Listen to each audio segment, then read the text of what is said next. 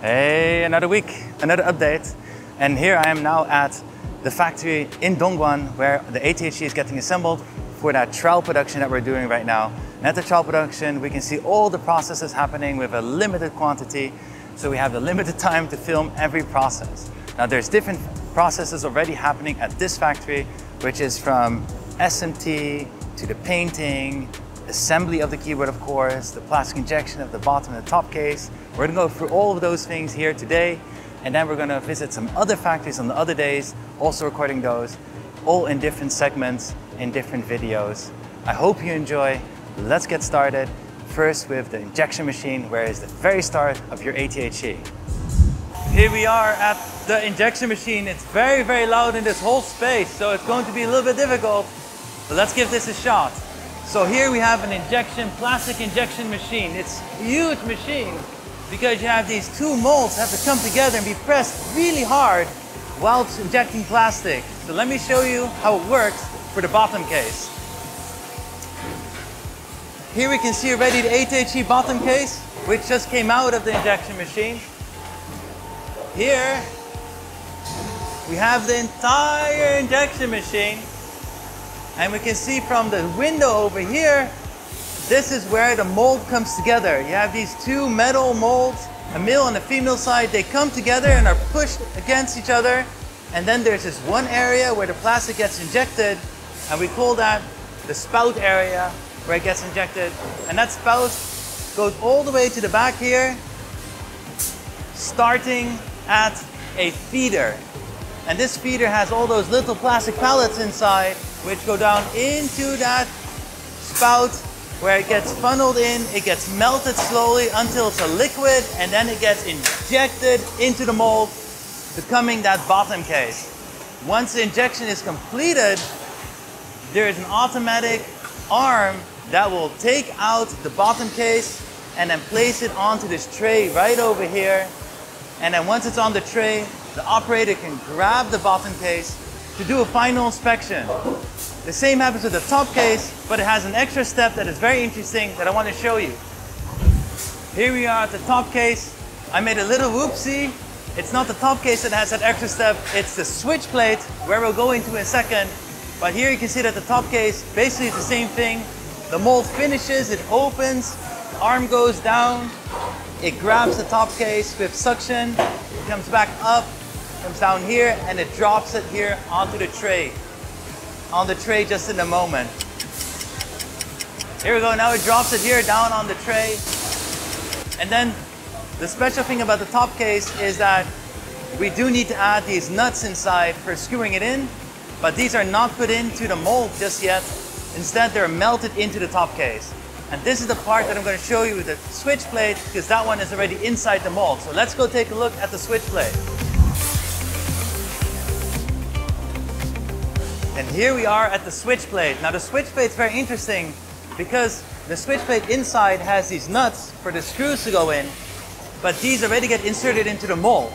This machine over here places the nuts in the right position so that the arm later can suck up those nuts, bring it all the way to the mold, and on the mold, you should imagine there's some pins inside the hole that will hold onto the nut. So the nut gets placed into the mold, onto that pin, and then the mold closes, and then the plastic injects onto the into that top plate mold. And then once it's done, it opens, suction arm grabs it again, drops it into this tray area, and it goes to the next step. The nuts are already placed into the mold beforehand because it's much more precise than if you would melt it into the top plate. So we can make sure that the nut is very much at the center, so when you assemble the PCB, everything is centralized. Now let's go and take a look at what happens with the top case and bottom case after injection, which is painting. And here we are at the painting area. This is for after the case injection from the top and the bottom case. There's an extra paint process to make sure that that black is a real black. It gets stinky. This is the paint area for the bottom and the top case. As you can hear, these air guns are blowing them to make sure that all the dust is away before it goes into the paint process, because otherwise the dust will be stuck in there forever and you will be able to feel it. It's very loud. Here's the next step, which is actually the painting of the cases. So this is the bottom case and has to paint it not only once from the top, it also has to do all the sides because they have that little ridge on the edge of the case. It has to make sure the paint also gets over there. And once again, this is only for the black, opaque black case of the 80HE. We don't do it for any of the other cases, and this just gives it that extra black color and nice finish. So here we are at the last step of the painting process.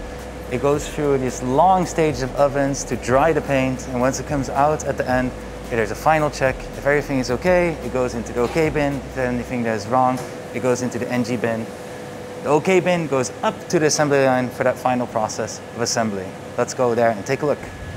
So here we have UV logo painting, and that's that stealthy Wooting logo on the back of the bottom case. So let's go take a look.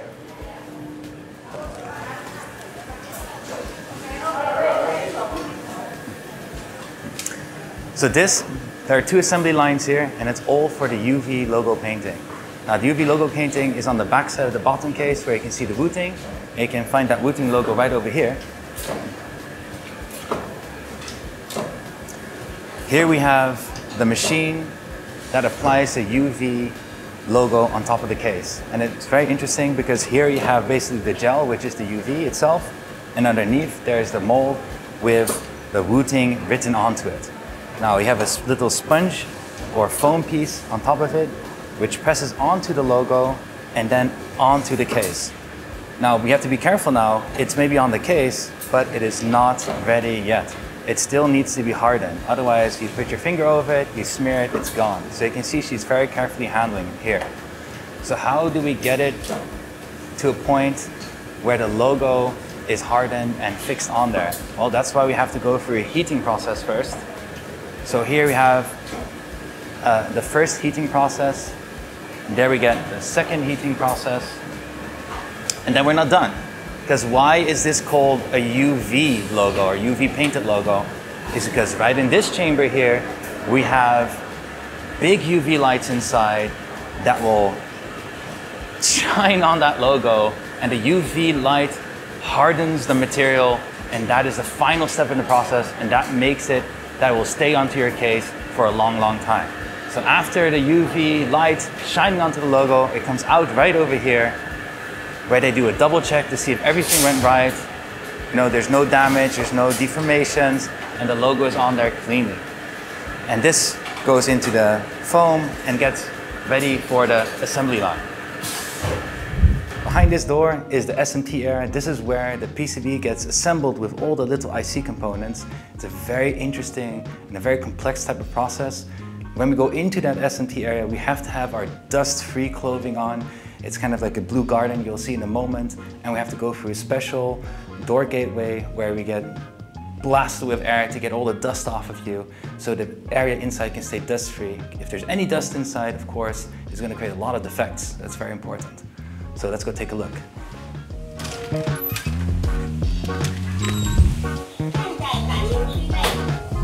So this is the dust-free room. It's now blowing away all the dust. Because I'm a bit too tall. There's no space. Thank you. No, so after all the dust is blown away, we can go in. Okay, here we are at the SMT line. So this is where all the IC parts get assembled on the PCB. It starts off with the blank PCBs over there, then it goes into the first station, which has a big stencil and then applies the solder paste over the PCB. And the solder paste is very important because that makes the IC parts stick on the PCB once it goes into the ovens. But that's not where we're going into straight away because once the solder paste is on there, it will first go into a inspection machine to check if all the solder was pasted correctly over the whole PCB. So before it goes into the picking and placing, uh, make sure the solder is in its correct position. Then here we finally get to the picking and placing machine. And this is the most insane machine that goes so fast and automates this whole process. You can see that there is an arm that really quickly picks an IC part, which is all the little parts on the PCB, and then it will go to the PCB and place it on the right position with that solder there. And it will do that incredibly fast And it does it first for a couple of small components, and then it does it for the bigger components. And it does it separate so it can do more at the same time at a faster pace. Then once it's all placed, we get to our visual inspection machine, and there it checks, are all the placements correct? Is it not orientated wrong or skew or anything that is not correct before it goes into the oven and it's permanently soldered on there. After this inspection, we get to the oven. And this is where the solder paste forms into a hard material and IC parts stay in its place and it does that slowly. It needs to raise the temperature slowly up because if it does it too fast, solder paste might bubble or might deform and that will change the IC placement that was just done. So they need to do it slowly. And as they heat up and heat up and heat up for this whole process, it comes out here and then yes, there's another inspection to double check to see if any of the parts shifted during that process. And if it did, then it's NG. If everything is in the right place, it's okay. And this is a very interesting machine because it automatically inspects the PCB for all the different type of defects you might have. And you can see this operator over here checking what the machine is telling her, hey, can you please double check this because according to my system, the shape should be like this, but the shape is like that, and therefore I think it's NG. She does the double check, is it NG, yes or no? If it is, then she can take it out of the line and place it separately. If it's all okay, it can go through to the final part, which is going onto the box for the next phase.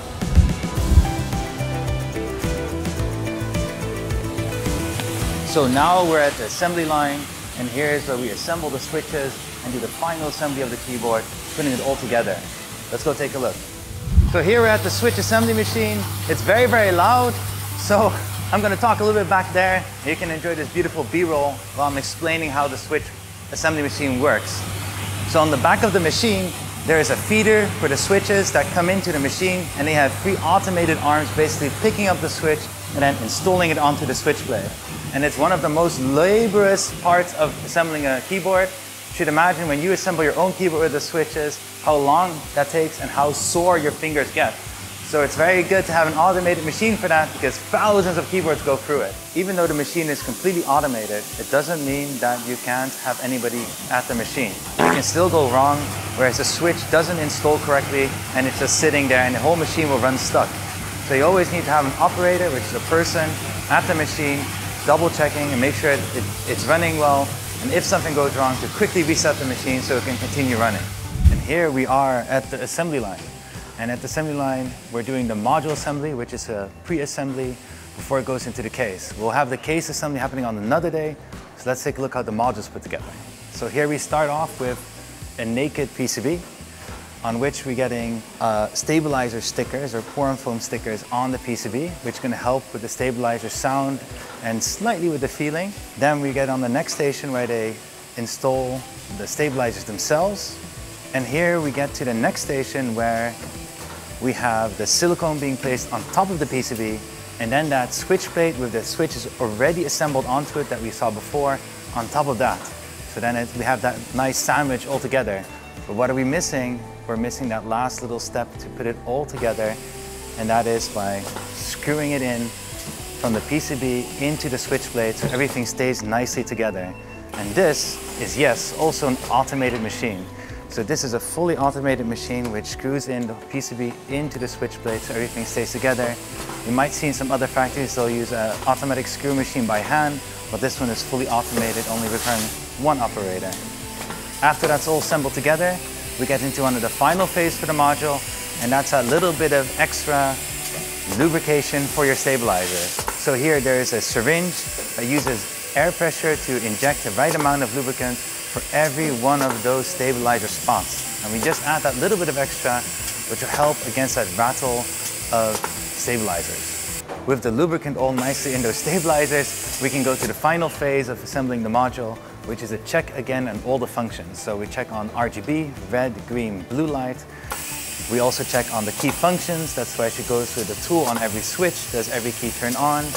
And of course, this is also the place where they assemble the daughter board into the main board. And that all together goes into the box for the next phase, which is the case assembly, but that is for another day. for another time. And how I exit somehow. And that was the first day of the factory tour. This was day one. We're gonna have more days. We're gonna have day two, we're gonna have a day three, we're gonna have a day four, and all those videos will be coming at you. But I don't know, Joe, no, stay. I'm done for today. I'm done for today. No, no, done for today. No more. No more. Stay away.